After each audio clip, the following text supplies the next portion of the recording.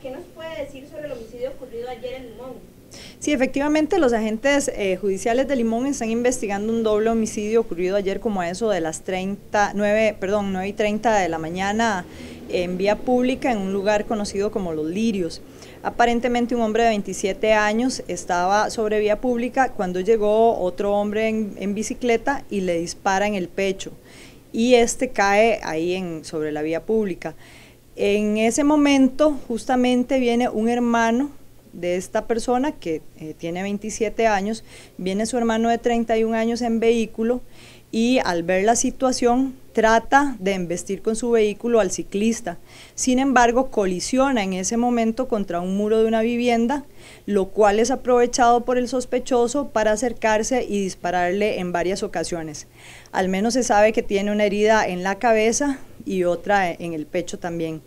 Eh, estas dos personas, los dos ahora fallecidos, son trasladados en ese momento por otro pariente al hospital Tonifacio de la zona, sin embargo llegan al hospital ya fallecidos.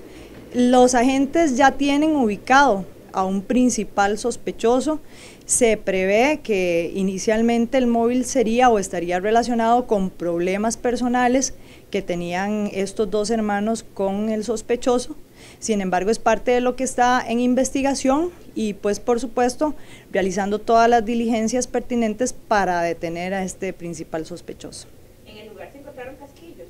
Sí, efectivamente se encontró indicios balísticos de arma 9 milímetros, que es lo que se tiene ahorita como colectado en la, en la escena.